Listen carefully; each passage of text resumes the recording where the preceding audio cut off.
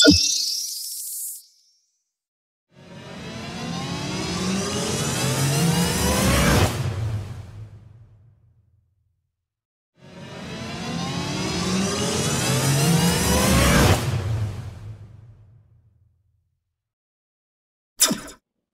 guys, magandang araw ulit sa inyong lahat. Ano? Once again, uh, Engineer Mark, uh, thank you so much once again for having me today. Uh, tuloy ngayong araw, ano, uh, magdi-discuss naman tayo sa inyo ng panibagong civil engineering topic.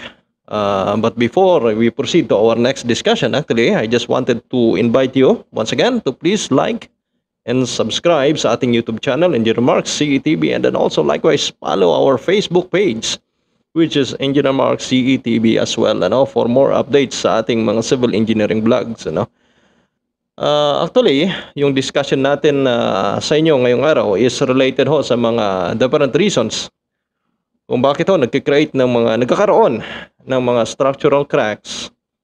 Yung mga gusali natin mga pinapatayo nating mga bahay mga gusali ano? Or let's say parte ng mga struktura ng ating mga bahay ano? Or let's say mga infrastructure or related projects ano. So magbibigay tayo sa inyo ng insight or ideas if what are the reasons uh, different types of reasons kung bakit ho nagkakaroon ng mga crackings ano.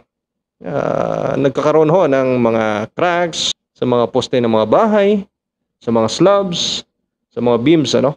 So nagkakaroon ho ito ng concern and then at the same time nagiging uneasy ho tayo since uh, structural cracks, uh, it is very susceptible to any unsafe structural condition ng mga gusali or let's say ng mga bahay ano. So kailangan ho malaman natin kung ano yung mga different reasons at least mayroon ho tayong awareness ano.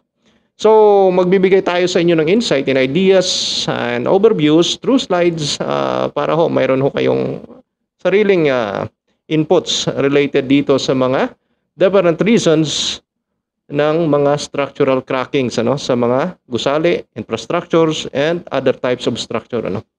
Okay, so please watch the slides.